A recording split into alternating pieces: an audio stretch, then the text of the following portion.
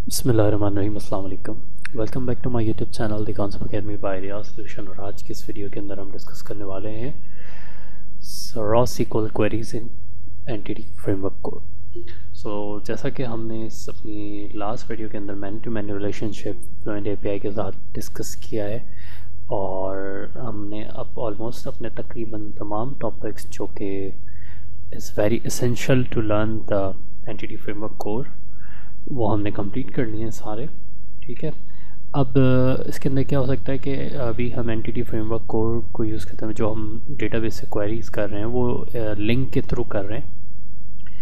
और link queries के through हम जो है डेटाबेस क्वेरीज लिख रहे हैं। बट यहाँ पर एंटिटी फ्रेमवर्क कोर के अंदर हमारे पास एक फ़ीचर और जो हमें ये एंटिटी फ्रेमवर्क कोर प्रोवाइड करता है कि हम उसके अंदर एंटिटी फ्रेमवर्क कोर यूज़ करते हुए भी डायरेक्ट एस की जो क्यूरीज हैं जो आ, कह सकते हैं कि एसक्यूएल की जो लॉक क्वेरीज हैं उन्हें हम एग्जीक्यूट कर सकते हैं। तो चलें इस वीडियो को शुरू करते हैं।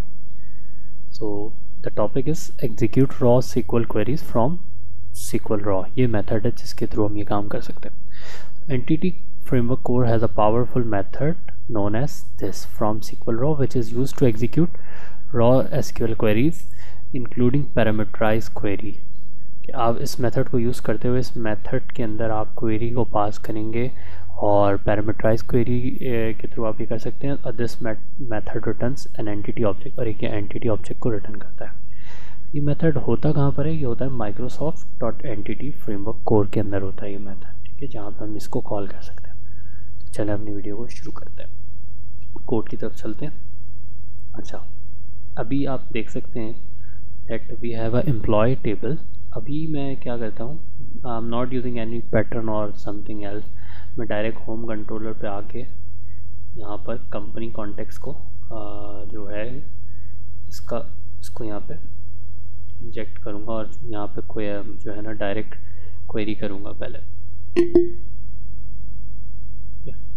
प्राइवेट रीड ओनली और ये सब लिख के।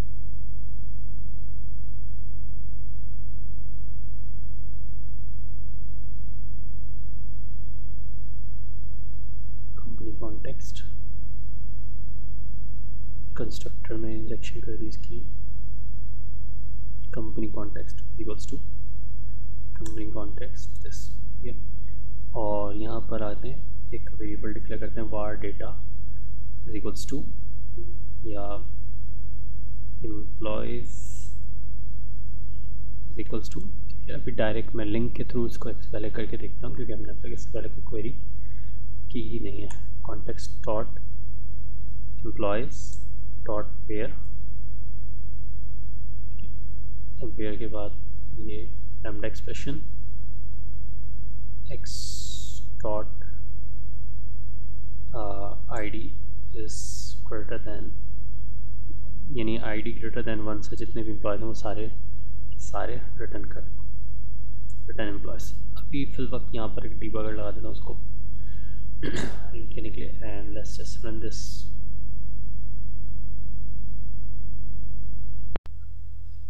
okay तो ऐसा करते हैं कि डीबगर हटा के इसको जो है ना इसका व्यू ही ऐड कर देते हैं, और ताकि हम इसको विजुअली डाटा को देख सकें आते हुए। तो यहाँ पर आपने करना है लिस्ट क्योंकि हम डेटा को डिस्प्ले करा रहे हैं, और एम्प्लॉय की टेबल का डेटा डिस्प्ले कराएँगे। तो ये एम के अंदर ये रेज, रेजर पेज जो है क्रिएट हो जाएगा। C S H T M L वाला। So we can use that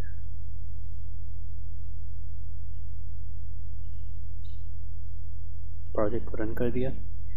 Let's see the page is rendering loading page load हो गया ठीक है। डिपार्टमेंट एड्रेस कल ये सारे एम हैं और ये इस टेबल का जो भी डेटा है वो आ गया है। दैट इज़ बिकॉज़ कि मैंने उसके अंदर इंक्लूड नहीं लगाया, सिर्फ़ सिंपली क्वेरी की है ठीक है? तो मैं भी सिर्फ़ एम्प्लॉय का रिकॉर्ड जो है ना शो कराना चाहता हूँ। Let's come back to this और अभी यहाँ से हम ये कहते हैं डिपार्टमेंट को निकाल देते हैं। I don't want to display that department address सही। Same goes for this department id let's make it safe और यहाँ के पेज को ज़रा रिफ्रेश किया।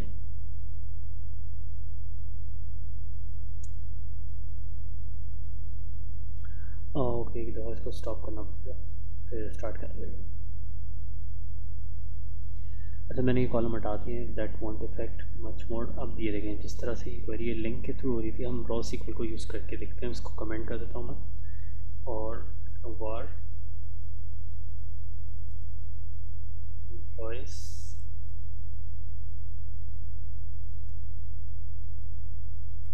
Is equals to company context dot company context dot employees.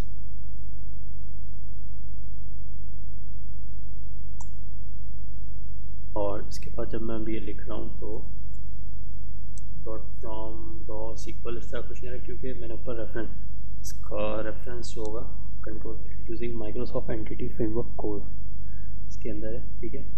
और यहाँ पर क्वेरी पास होगी।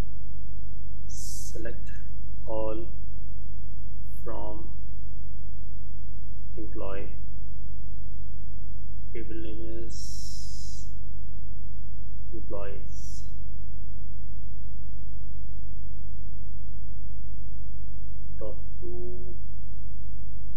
list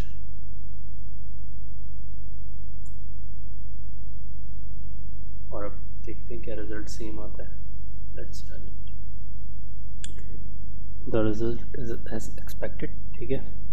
तो उसका मतलब है कि आप इसको यूज़ करते हुए कोई भी क्वेरी यहाँ पे आ, कर सकते हैं। यानी ऑर्डर मैं चाह रहा हूँ कि सिर्फ़ जो मैं नेम लिखूँ वो आए। सो मैं यहाँ पे ये कर सकता हूँ कि where name is equals to Ali कोई भी कस्टम अपनी रॉ क्वेरी आप लिख सकते हैं where name is equals to यहाँ पर सिंगल कोड के अली अब सिर्फ़ वो रिकॉर्ड्स फैच होने हैं जो जिनका name Ali all right so इस तरह से हम एक पैरामीटराइज क्वेरी को यहाँ से पास करते हैं और इस का एक ड्रॉबैक देखते हैं, जो इस तरह से हमने क्वेरी लिखी है पैरामीटराइज इसके थ्रू क्या हो सकता है कि अटैकर आपको सीक्वल इंजेक्शन के थ्रू अटैक कर सकता है आपको। तो चलें उसको देखते हैं कि किस तरीके से आपका जो है डेटा लॉस कर, किया जा सकता है यूजिंग सीक्वल इंजेक्शन तो ये जो रॉ क्वेरीज होती हैं दीज आर क्वाइट डेंजरस तो इसको जो है, जब भी कभी इस्तेमाल किया जाए तो उससे पहले आप अपने पैरामीटर्स को आपको वैलिडेट करना चाहिए। मैं उस चीज़ को परफॉर्म करके दिखाता हूँ। कि किस तरीके से ये डेंजर हो सकता है अगर आपने कोई इस तरह की गलती की। तो जैसे आपने यहाँ कहा नेम स्ट्रिंग नेम और यहाँ से जो भी चीज़ आएगी, वो अगर इस तरीके से आपने कर दी ठीक है वेड नेम के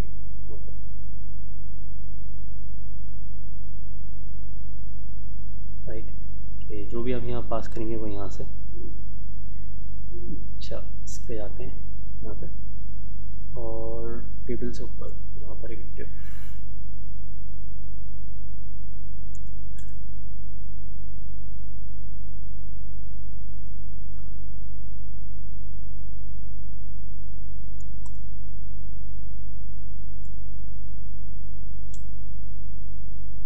और यहाँ पर मैं कहता हूँ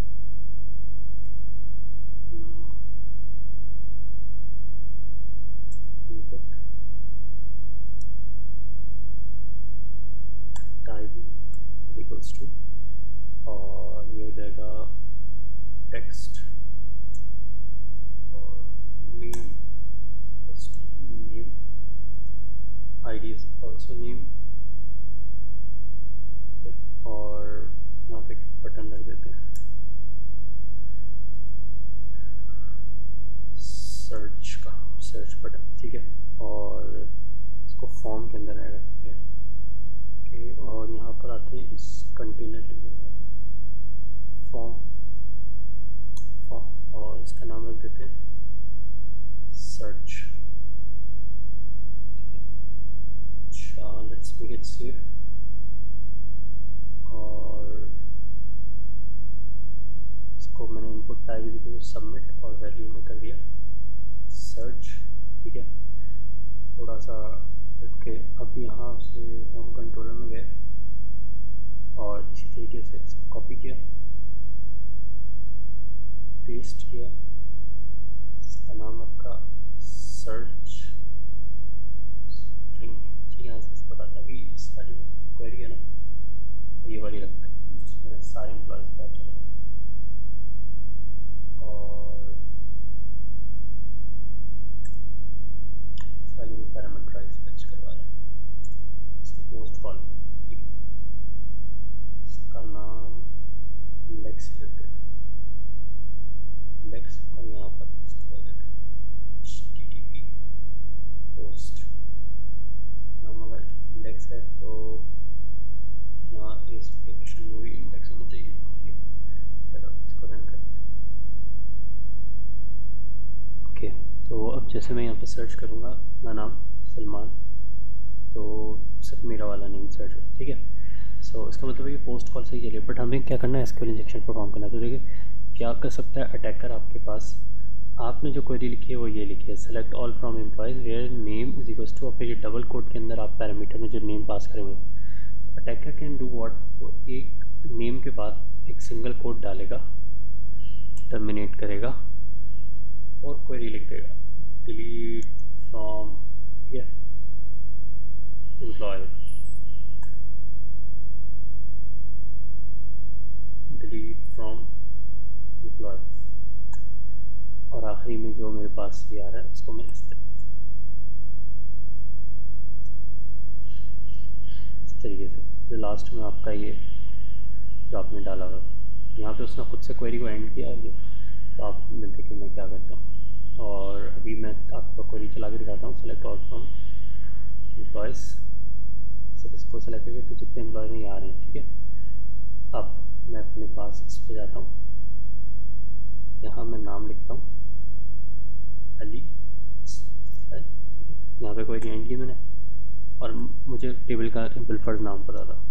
डिलीट फ्रॉम एम्प्लॉयज़ ये मैंने लिख दिया, ठीक है? और यहाँ पे डबल डैश डाल।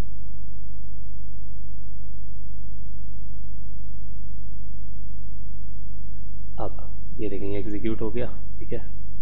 डेटा लिया अब मैं यहाँ पे आता हूँ। और अपने पास को एग्जीक्यूट करता हूँ। ये देखो, सारा का सारा डेटा डिलीट कर दिया मैंने थ्रू द एसक्यूएल इंजेक्शन अब जब मैं नेक्स्ट टाइम इसके ऊपर रिक्वेस्ट भेजूँगा ना सर्च पे, ये खाली लाएगा, कोई डेटा नहीं आएगा। एस लिखो ए लिखो whatever you like page को दोबारा से सबमिट करके हम दोबारा आते हैं डेटा एम क्यों? क्योंकि उसने यहाँ से थ्रू दिस क्वेरी उसने पैरामीटर से उड़ा दिया। तो इसके लिए आपको क्या करना होगा? You need to make sure कि आप इस तरह से कोई भी खुली खिड़की नहीं छोड़ेंगे इसके लिए अटैकर के लिए इंजेक्शन के लिए। तो यहाँ पे ये देख रहे हैं इस इस रॉ सिक्वल में थोड़ा सा ये ड्रॉबैक है कि अगर आप इस तरीके से रखते हैं तो आपके पास पैरामीटराइज क्वेरी के थ्रू पैरामीटर के थ्रू इसके इंजेक्शन के चांसेस ज़्यादा हैं, ठीक है? तो you need to validate first कि जब ये नेम यहाँ पर आ रहा है so never ever pass directly into the query पहले उसको वैलिडेट करो कि भाई जो वहाँ से पैरामीटर आ रहा है इज़ इट करेक्ट और not and then pass it to this otherwise ये डेंजरस हो जाएगा। सो एज रिज़ल्ट आपके सामने कि किस तरीके से मैंने काम किया। सही है? I can update to I can manipulate the data तो इस तरीके से ही हो सकता है। सो आई होप कि वीडियो पसंद आई होगी। तो फिर वीडियो पसंद आई तो इसको लाइक करो शेयर करो चैनल को सब्सक्राइब करो। मिलते हैं नेक्स्ट वीडियो में। हाफ़